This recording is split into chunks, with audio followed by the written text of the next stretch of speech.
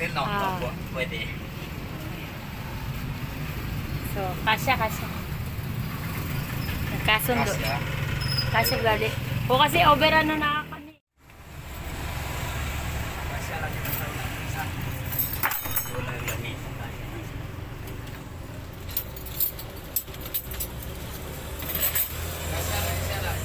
Kaka, pinagkasya, tanggalin. Ah, yung rep na lang tatanggalin. Joke. Kaya mo yan.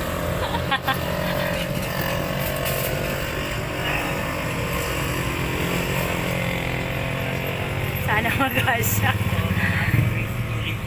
So, yan na guys. Para sa ating tindahang maliit pero malupit. so guys, hello. Happy Sunday sa atin lahat. Ah, Sunday? Happy Saturday sa atin lahat. Talaga naman hindi ko memorize sa mga araw o oras, petsa na. Ano bebe? Dumating na ang ating ano, ang ating rack. Tumaan lang yan siya. Dumaan. Tumaan, tapos hinarang. Dumaan na. o yan. Dumating, pag dumating order yun. Hinarang. Hinarang guys. So, kailangan na talaga natin guys para yan ang meaning na lumalago yung tindahan mo pag sumiskip na yung mga ano, lalagyan nyo. Yan na yung meaning yan. Na marami ka na nailalagay na stock na hindi na nagkakasya. Ah, di ba? Ganyan yon ganun. So, kailangan natin na ayusin. So, i-arrange natin dito guys sa ating munting ano, rack na rack. So, guys, yan na nga.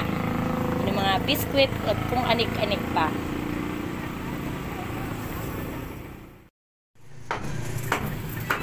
So guys, nag-arrange si Honey Bebe. Nag-arrange. Pa-arrange pala. Ayos niya guys yung ano, lagayan sa... Yan na, ita-transfer namin dyan guys yung rep sa kabila. Kasi nga over capacity, capacity na kami dito. fully blows. Fully, fully. Lilipat namin siya guys.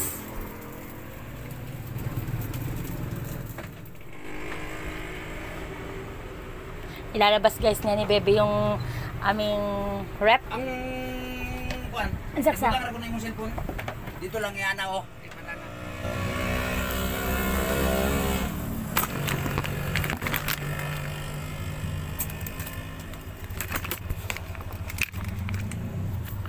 Ka mahulog.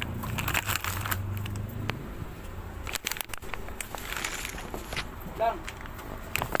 Na! Na, Guys, happy Saturday sa atin lahat. At ayun, natapos na nga ni Honey Bebe ang kanyang ano, kanyang Hindi project. Sa bangko. Hindi na ni masulod. Ha? Hindi masulod dihang bangko. So guys, ito Ah, na nga. Na, Yun. tanggalan yung wrap dito na isa, nailipat na dun sa kabila. Diyan nalipat sa kabila guys. Tanawo? Ang liw- Ang luwag, ang luwag na. So ganyan na guys yung ating tindahan na maliit. Pero naku, malupit Sa ito Malaysia. guys. Kan. Diyan siguro sa rep. So guys, dito na yung rep sa aming likod. Chan chan na chan chan chan chan. Sa, kung may bahay pa kami guys, Diyos ko Lord, marami pa ako may lalagay. yung ating mga grocery. Ako nang na-arrange. Hindi pa talaga tapos. Lang. Makalat pa. Guys, yun na. Maya pa yung matatapos guys. Ang final.